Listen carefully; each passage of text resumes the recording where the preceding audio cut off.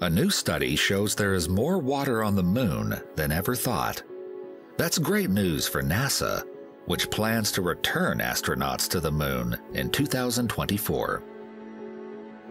Our moon holds more water in more places than previously thought, according to two studies published on Monday. Until around a decade ago, people thought the moon was bone dry, but a series of findings showed our natural satellite has traces of water ice in permanently shadowed craters at its polar regions. Now, a pair of studies in the journal Nature Astronomy suggests water could be even more widespread. It could be located even in sunlit areas. More than 15,400 square miles of lunar terrain have the capability to trap water in the form of ice, according to a team led by the University of Colorado's Paul Hayne. That's 20% more area than previous estimates. NASA plans to return astronauts to the lunar surface in 2024. That's the first step toward a permanent outpost and eventual journeys to Mars.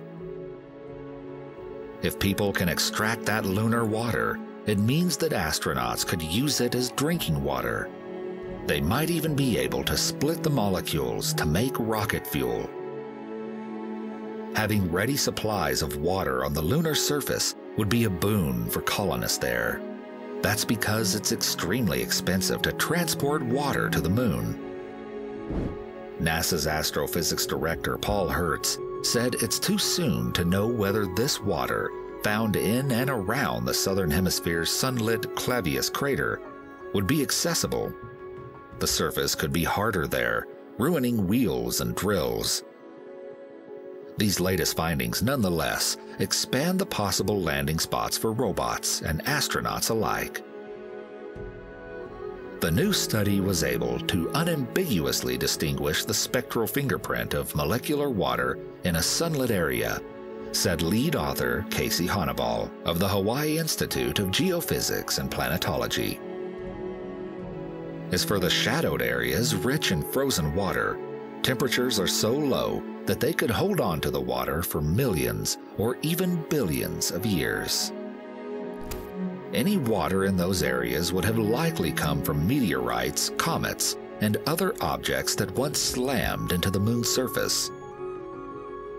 The researchers identified those cold traps near the moon's north and south poles using data from NASA's Lunar Reconnaissance Orbiter. For the recent study, the researchers used data from NASA's Stratospheric Observatory for Infrared Astronomy, SOFIA, Airborne Telescope, they used a more precise wavelength than had been used before, 6 microns instead of 3.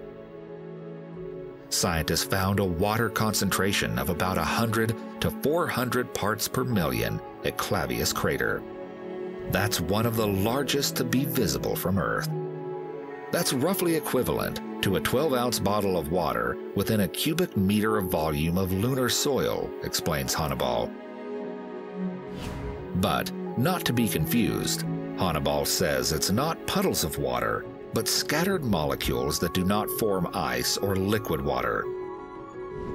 Scientists believe they originate from solar winds or micrometeorites and think they might either be trapped in beads of glass or within the grains of the lunar surface to protect them from the harsh atmosphere. The researchers did not open up about how much water might be present, but according to them, anything in these regions should be easy to harvest. NASA plans to launch a water seeking rover named Viper to the moon's south pole by the end of 2022. Astronauts would follow in a series of missions intended to set up long term bases. NASA is going back to the moon using commercial and international partners. But this time humans will be there to stay. It's been about 50 years since humans first set foot on the moon, and since that historic time, space exploration has experienced tremendous progress. Astronauts, including the first woman planned to land on the moon, will try to set foot on the lunar south pole by 2024. The lunar trip will help us reach Mars faster. The lunar landing would provide us an opportunity to test our technology and capabilities before carrying out a mission to land on Mars. Ah, I can't wait to see the first humans land on Mars. I mean, who doesn't want to experience that? However, the US Space Agency is now focused on how to extract and use the tons of ice located at the moon's south pole, which can help us breathe, stay hydrated, and fuel our rockets. The Artemis program intends to prove humans can live and work on other worlds. The last moon landing happened in 1972 as part of the Apollo 17 mission. Humans have walked the moon six times in missions carried out by NASA as part of its Apollo program.